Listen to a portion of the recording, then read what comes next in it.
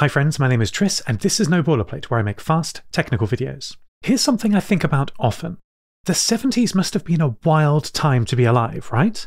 At the start of the decade, electronic calculators were not seen outside of laboratories, but by 1974 they were in every home. Video games like Pong introduced computer power to the general public, and by the late 70s, it was looking like the microcomputer revolution would mean every house would have a computer, just like they suddenly had calculators. Against this backdrop, the C programming language was written, first for the PDP-11, then ported to basically every computer that has ever been built. I often daydream about the lives of people who picked up C just at this perfect time, right at the start. After they learned this relatively small language, they could then have spent decades writing just C, one language, one-ish language, for all programs on all devices. C is doggedly refusing to leave RedMonk's top 10 languages by GitHub projects and Stack Overflow tags. Everything was, and to a large extent still is, written in C. Games, spreadsheets, device drivers, operating systems, firmware, and even web and phone apps. But there's only one language that can do all of this today, and it ain't C. My video scripts are dedicated to the public domain. Everything you see here, script links and images, are part of a Markdown document available freely on GitHub and at my website. Here's Grace Pointer, a hypothetical rockstar developer who learned C in the late 70s. Let's imagine what her career could have looked like right up until today. Mini computer application development in the late 70s, desktop application development in the early 80s. By the late 80s, she started using this new thing called C, then Windows and Mac desktop software in the early 90s, and CGI web applications in the early web of the late 90s. The CGI spec was written assuming C, even in 1.1, last revised in 2004. OKCupid.com is still written in C. C is vital to all web apps, even to this day. If you look inside every Python, Ruby, and JavaScript app, the power behind the throne is the huge modules written in C. Grace then tracked the explosion of game development in the 2000s and even got on the Objective C train with iPhone app development. During the AI explosion, she was writing GPU AI code using NVIDIA's CUDA platform, you guessed it, written in C. Her skills are still relevant now she's retired. She can still do everything today. How wild is that? Compare this to every other field. Not just teaching her skills, but the code she writes is relevant still, and will be, very likely, for her whole life. She remains a core contributor to a dozen open source projects that run on millions of machines around the world. A whole career in a single language. Grace's career sounds much more relaxing, doesn't it? Null pointers notwithstanding, of course. This is my pitch for your future if you learn Rust today. Let's take a step back. Why did C come to dominate our industry? In short, low level portability. Write once, compile everywhere. Before C, it was understood that if you wanted portability, you had to sacrifice low level power and speed, and vice versa. If you wanted to write operating systems and games that needed to run fast, you had to write low level assembly for your specific architecture and then rewrite it almost entirely for each new machine. Do you see where I'm going with this? This reminds me of where we are today, where as generalist software developers we write JavaScript for browser development, backend code in Python, Ruby, or Node.js, and bare metal code still requires C, or perhaps Zig if you're lucky. And if you want to do iOS or Windows application development, Apple or Microsoft have some very reasonably priced toolkits to show you. There is only one language today that allows you to follow Grace Pointer's example, and it's no longer C, and it's not JavaScript. As web developers have moved to high level languages, leaving C behind, Rust is the only language that can do it all. Yes, some of these applications are possible in other languages as well as C, but no one would argue that that would be fun. C takes backwards compatibility extremely seriously, with a pace of development that only a mother could love. High level languages tend to have more of a fuck it, ship it attitude. When new features are added, you are expected to keep up with the pace of development if you want them. React developers know what I'm talking about. Rust has learned from C and C++, eschewing a middle road compromise, instead taking a quantum superposition of both simultaneously. It is both uncompromisingly backward and uncompromisingly forward compatible. This is guaranteed by the Rust Edition system, ensuring that libraries expecting different versions of Rust can still be compiled together in a single project. Compatibility is also augmented at a less formal level with the macro system. Like in Lisps, Rust macros make the whole language available at compile time to rewrite the syntax before passing the generated code to the compiler. This is a wildly powerful trick that deserves separate discussion. See my Witchcraft video for that. A concrete example of this forward compatibility was with the await macro, introduced to Rust for testing while the community was figuring out if they wanted an await keyword, like JavaScript, or to dot await on a future. The latter won out, but no core language changes were needed to test it in real code. Macros allowed the new syntax to be a library. Here is a speedrun of all the things you can build if you learn Rust, a single language, in 2025. Until you, my lovely audience, decided I should be a YouTuber, I was a web developer.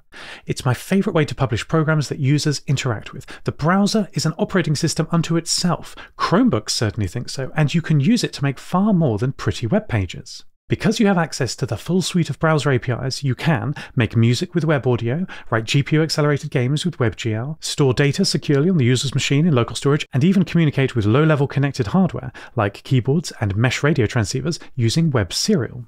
All this ecosystem is only available to JavaScript and languages that compile to WebAssembly, the most popular of which is, of course, Rust. JavaScript developers are half right in thinking that they have a job and a language for life, except to do what Leptos is doing here, embed HTML, RSS like syntax, you need external build tools. So enjoy relearning that ecosystem for each new framework. In Leptos, as in every Rust project, build tools are a macro away. The one used here on line 4 is called view. You can tell a macro is being called because the compiler requires them to be named with a bang at the end of the name.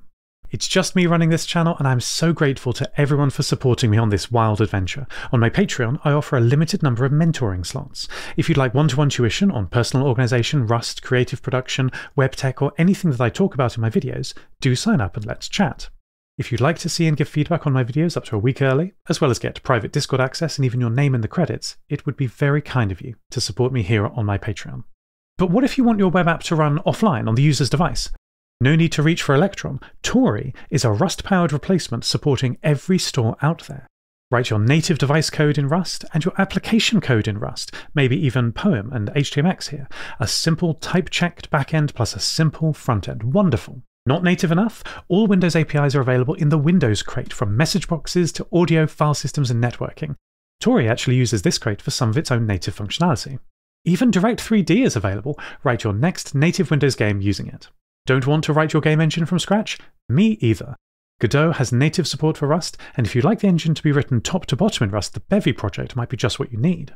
Running massively parallel workloads on commodity GPU hardware has been made much more accessible by NVIDIA's CUDA framework, for better and worse. And while bindings exist that allow other languages such as Python to offload computation to the GPU, what you're looking at in this example is the actual code that runs on the GPU. The CUDA standard crate compiles Rust directly into native GPU code. This is something that previously was only supported using C, C++, and am I reading this right? Fortran? Okay, we have to see some of that. Cool. Wow, Fortran's alive and well in high performance computing, eh? Moving on, what the Asahi Linux team have done to get Linux working on Apple Silicon is nothing short of miraculous. An early breakthrough for the team was after they reverse engineered the proprietary Apple Silicon GPU, they then wrote a driver for it using Rust. They did this to sidestep the manual memory management and inevitable bugs that driver code is plagued with if you write it in C. You don't just get some free language features when you choose Rust, you get superpowers, in this case, speed of development. The first version of this driver was written by Asahi Lina in five weeks, a success she attributes to her language choice. I don't regularly write entire drivers from scratch, but that does sound very fast. By the way, if you'd like to try Asahi Linux, you can dual boot any M1 or M2 machine with this single command. UUtils is an attempt at rewriting the core Unix CLI utilities in Rust. It's available for Linux, Windows, Mac, and all other platforms. Yes, it's currently seven times larger than the extremely cut down BusyBox, 13 megs on my machine, but BusyBox doesn't attempt to pass all the GNU core utils tests. UUtils as you can see, is nearly there. While an undesirable effect in physical engineering, I'm extremely excited that I can write bare metal Rust, by which I mean Rust running directly on real time chips for robotics or low power sensor use, or maybe even satellites. Over the course of my short Rust career so far, I have read every counterargument by people who have never compiled a line of Rust. They tell me I can't write low level performance code or high level fast prototypes or browser based apps or games or whatever their pet domain is.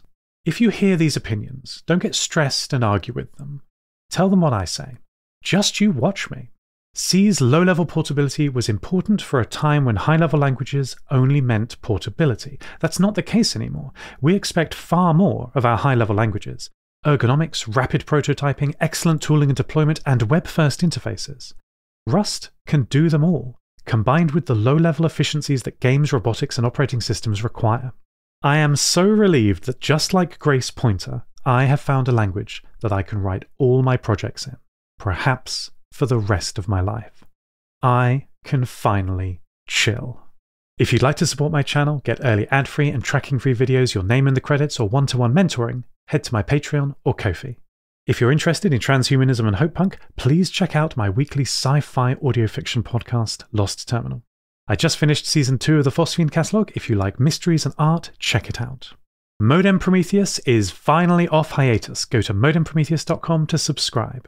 Transcripts and compile check markdown source code are available on namtao.com and GitHub. Links in the description and corrections are in the pinned errata comment. Thank you so much for watching. Talk to you on Discord.